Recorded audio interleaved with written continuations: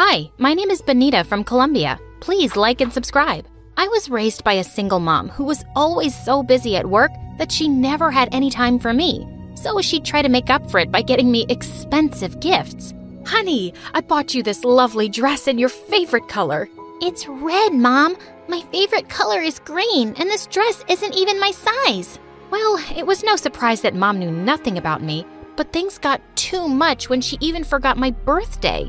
I am so sorry, Benny. I was just so caught up and. Forget it, Mom. You're never there for me. I guess you're not so different from Dad. Hey, that's not fair. But I just walked off to my room and slammed the door shut. I knew she hated it when I compared her to Dad.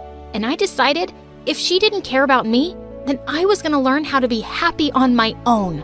After that day, I became friends with the neighborhood kids and started playing with them until mom got back. And it was pretty fun. Until one day when I was eight, one of the kids kicked a ball and it broke a neighbor's car window. Shoot! All the kids ran away, but I was too slow and the neighbor caught me. You did this. I'm gonna tell your mom now. Before I could even protest, a little girl spoke up. No, it wasn't her. The girl who broke your car ran that way. The neighbor immediately ran in that direction, and my eyes lit up. Hi. Thanks for saving me when my own friends ditched me. Guess they ain't your friends then. She introduced herself as Sarah and told me her parents had recently moved to the neighborhood. And just like my mom, they also kept busy most of the time. After that day, Sarah and I started spending time with each other, and soon we became besties. We even started with our very own china collection after we bought the most beautiful green colored teapot in a yard sale. One day, we'll have a whole room filled with beautiful china. Yeah, and everyone is gonna call us queens.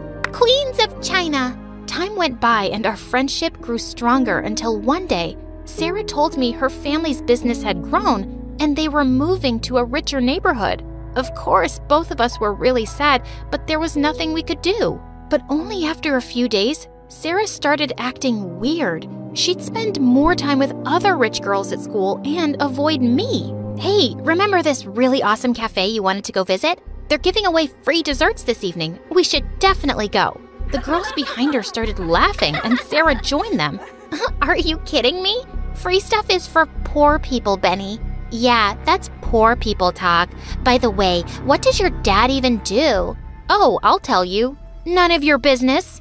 Chill out, Benny. And sorry, I can't hang. I'm going shopping with my friends for a party tonight. A party? Well, that sounds fun too. I wasn't invited, but we could go together. Um, I don't think so. If they didn't invite you, maybe they don't want you there, but I'll see you later.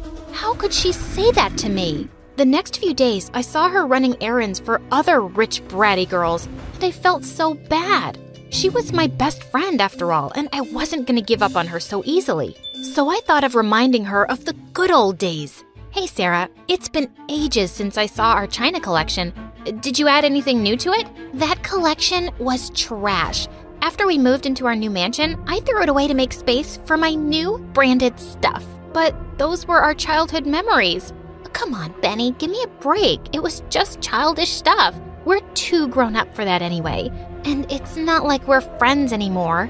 Gosh, that made me so mad that I jumped on her and we both went crashing into the girl standing behind her.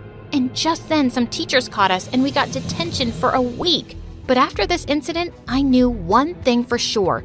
I was so done with Sarah now, and I was never gonna be friends with anyone ever again. Later in the detention room, I was drawing something when I heard a scary voice from behind me. God, you suck at this, don't you? I turned around and saw a monster. Jeez, you scared the heck out of me. Who are you and what are you doing here? Oh, I'm so sorry. I'm Martha, and I was put in detention on my very first day because I tried to prank some kids.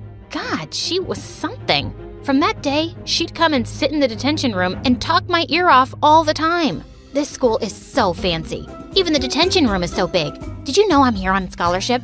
I brought a ham sandwich. Want to have lunch with me today? My dad works in a hospital. What does your dad do? Nothing. Why do you talk so much? I'm sorry. I talk a lot when I'm nervous and I don't have any friends here, so I feel a bit left out. Looking at her sad face, I felt bad for being so rude to her. So I told her she could talk to me. But I regretted my decision very soon because now Martha became my unwanted shadow and followed me everywhere. One time after math class, I tried to avoid her by hiding in the gym, but moments later, I heard her voice. There you are. I've been looking for you.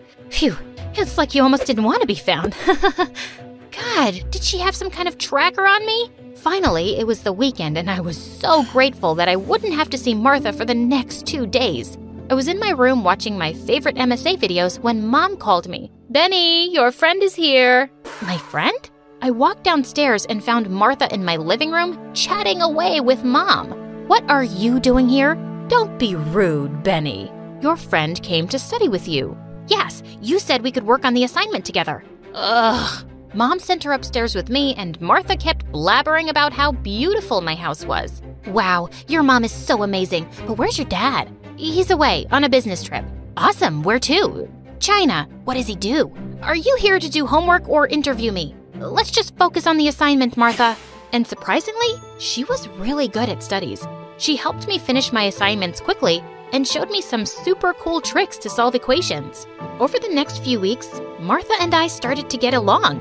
She was really cool, and I loved how she always made me laugh. Then one time, when we were having lunch together in the cafeteria, Sarah kept staring at us. And then suddenly, she tripped over something, and all the food in her tray landed on one of her girlfriends. What the heck? Do you know this dress costs more than your entire net worth? She pushed Sarah down and poured juice all over Sarah's head. The rest of the crowd just stood there laughing and making videos of her while my blood boiled. But since Sarah made it clear that we weren't friends anymore, I turned away. But Martha stopped me. We should help her, Benny.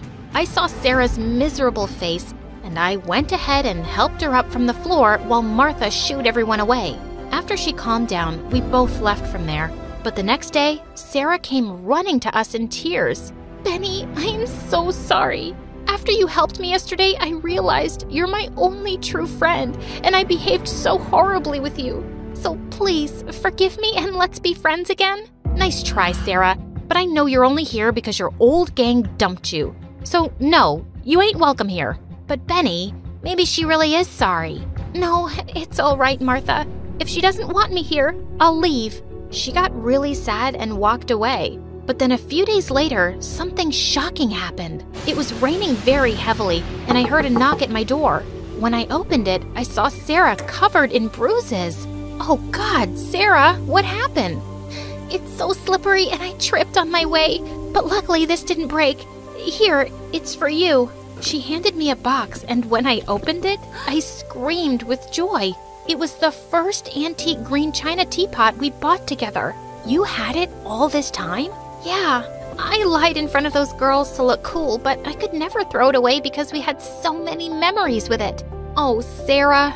I let her in and got her some hot chocolate to drink. After that, I dressed her wounds and she apologized to me for everything. I could see how sorry she was, and I decided to forgive her. And just like that, Sarah, Martha, and I became friends.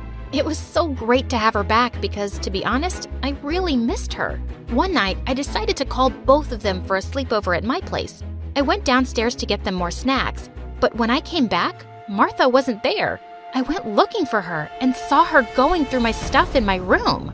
Martha, what are you doing? Uh, sorry. I was just looking for something to wear. I, I spilled some juice over, and that's when I saw her holding up a magazine in her hand. Where did you get that from? I snatched it from her hands, feeling sick to my stomach. It was like my worst nightmare had come true. It's your dad, right? I stood there like a statue, but then she held my hand. You know you can trust me, right?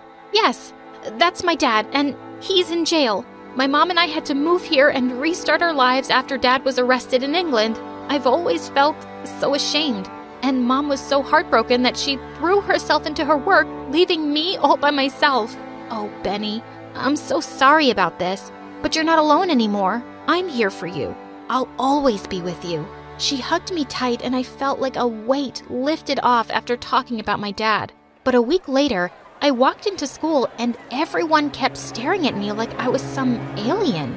I didn't know why till I got to my locker and almost had a heart attack. Pictures of dad and his trial were posted everywhere. Just then, I saw Sarah running towards me. Benny, are you okay? Sarah, did you have something to do with this? What? Don't be ridiculous. I've known since we were kids and I've never told anyone. Why would I do this now? She was right. She had always known, and even when we weren't friends, she had never told anyone. And that's when my heart felt like it stopped beating. Martha! Just when I started to trust her, she did this. I saw Martha skipping happily towards me, and I went ahead and pounced on her. How could you do this, you little snoop? Why would you do this? Benny, wait, what are you? Sarah came in and pulled me away. Let it go, Benny. Don't get upset. The next few days, I didn't go to school, but Sarah came to visit me every day and kept me company. It felt so nice to have her around. She even tried to convince me to give Martha a second chance, but I stood firm. But one night, when she didn't come, I decided to polish the china teapot she brought me. And that's when I noticed it wasn't the china teapot we bought when we were younger. What the heck? Could it be that she lied to me too? I stepped out of the house to get some fresh air, and that's when I noticed two figures arguing. Why are you even here? Benny and I are best friends, and you need to back off. But she needs to know I didn't do it. It was actually you. Yeah, it was me, but there's no way you can prove it, weirdo. So get lost now. What? So she was the one who told everyone about my dad and framed Martha? I went right up to her and slapped her right in the face. Benny, what, what are you doing here? And why? Drop the act, Sarah. How could you stoop so low? I trusted you. And Sarah suddenly looked like a psycho. You left me no choice. I hated seeing you so happy with her, and I just wanted my bestie back. And about your dad, don't worry. Everyone at school will forget about it in no time. You know high schoolers and their short term memories. No harm done. God, you're crazy. I know the teapot is fake, Sarah, and so is your friendship. I hate you, and you stay away from me. I went over to Martha and immediately apologized to her. I am so sorry for not believing you, Martha. Please forgive me. It's okay, Benny. It wasn't your fault. I'm the one who asked you to give this crazy witch a chance. Forget about her. Let's go grab some ice cream. But where are we going to get ice cream this late? In my fridge. You're staying the night with me.